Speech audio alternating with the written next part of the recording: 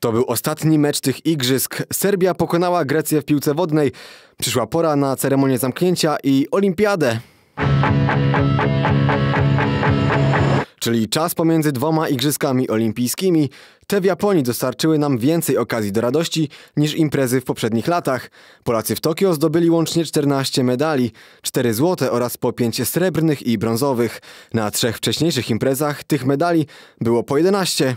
W Poznaniu nie mamy powodów do, do, do narzekań, bo, bo tak jak mówię, te medale są. Jest Tadeusz Michalik, jest, jest y, Karolina Naja, są byłe zawodniczki poznańskich klubów, e, Anita Wodaczyk, Malwina Kopron, które już teraz rzucają do kogoś innego, ale latami tutaj e, trenowały. Wszystkie złote medale polskich sportowców padły łupem lekkoatletów. Sztafety mieszanej 4x400 metrów, rzucających młotem Anity Włodarczyk i Wojciecha Nowickiego oraz Dawida Tomali w chodzie na 50 km. Jego triumf okazał się jedną z największych niespodzianek igrzysk.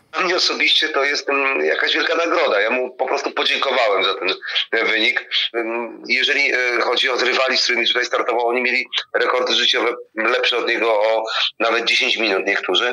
Do Poznania z brązowym medalem wrócił już Tadeusz Michalik, zapaśnik Sobieskiego, który jeszcze przed rokiem przeszedł dwie operacje serca. Nie mogę opisać tego, no, co czuję i, i co w mojej głowie w ogóle siedzi teraz. Na tą chwilę jeszcze do, no, no, no nie wierzę, że po prostu ten medal y, wy- zdobyłem, że go mam.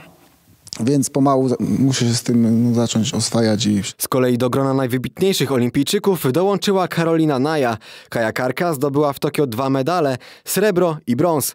Na co dzień reprezentuje klub sportowy Poznania. Nie jest to, to, to zaskakujące, bo to utytułowana zawodniczka e, w tej chwili chyba najbardziej z wszystkich e, startujących kajakarek w Polsce.